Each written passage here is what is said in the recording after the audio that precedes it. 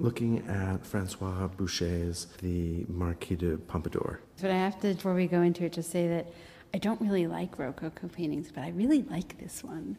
There's something really So what is it? beautiful about it. I'm taken in by the pink ruffles and the lace and the cameo on her wrist and the poof that she's using to powder herself and the flowers on the bottom and the pink of her cheeks and the blue bow in her hair and the little pink at the end of the brush that she's using to put on her blush.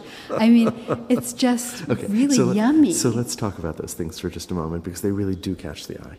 The lace and the and the pink ribbons have a kind of almost architectural quality to them that's Yeah. really extraordinary. yeah, They they're very have a kind of real volume to them. They have volume and structure, and you can feel the weight and the stiffness of the fabric. And the proof is the opposite of that. And there's tremendous focus, of course, on the cameo on her wrist because it's a, it's a portrait of her lover. of- King Louis XV. That's right, of France. But then contrast that with the rendering of her face, of her head, which is sort of impossibly soft and sort of reformed. Look at the size of the eyes in comparison to the size of the of the mouth. She's become a child. That's true. I hadn't thought of that. It's almost as if we're looking at J- Japanese cartoons. What are those called? Anime. Uh, I mean, it's certainly not about her personality and who she was and her humanity in any real No, way. it's it's her persona. Yeah, right? it's her persona, and, and that's to me that's what the whole painting is about. It's just about artifice. It's like the artifice of the French court in the 18th century in the Rococo period.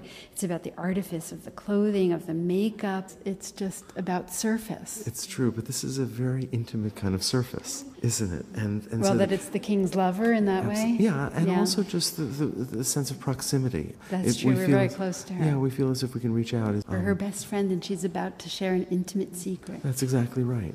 But then her eye rises up across her wrist, over the portrait of her lover, across her breast, up to the, her neck, and then finally we get to her face, which seems sort of almost remote. The first thing that I noticed was all of those accessories of artifice. And then I looked at her face, you know, I read the label, okay, this is the mistress to Louis XV. And then I thought, who is this woman? I looked at her face for clues, mm-hmm.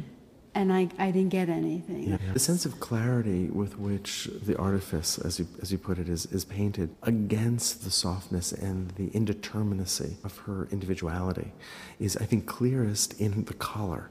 Look how incredibly crisp, almost frozen mm-hmm. that collar is. And then look at the softness. But there is this wild sense of indeterminacy and, and mystery, I think.